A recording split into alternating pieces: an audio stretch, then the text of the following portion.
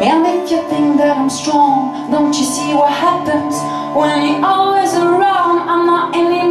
C'était une deuxième émission et là euh, c'était un petit challenge que j'ai proposé euh, à Médéric, c'est-à-dire de, faire une émission 100% filles.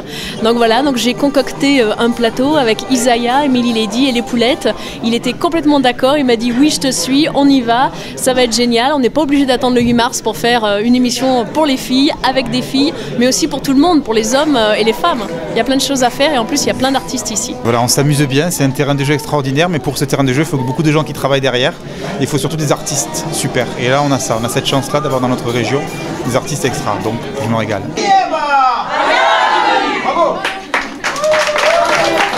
La prochaine, c'est dans un mois, mais ce sera une petite surprise. Ce ne sera pas avec des artistes d'ici, mais ce sera les meilleurs moments de la grande soirée Talon France Bleu qui aura lieu donc au Dôme de Marseille. Ce sera le 28 novembre avec toute l'équipe de France Bleu Provence et on concoctera euh, une sorte de, de best-of en fait de cette euh, soirée Talent. Et la prochaine avec des artistes d'ici, ce sera début janvier. On a plein de progrès à faire parce que c'est du travail là aussi de faire de l'animation radio, de tout enchaîner. Euh, mais je crois qu'on a pris du plaisir avec les artistes qui nous ont offert leur, leur générosité. Donc je dirais que ça s'est bien passé, mais on sera encore meilleur la prochaine fois et la fois d'après encore meilleur, meilleur, c'est sûr. Merci.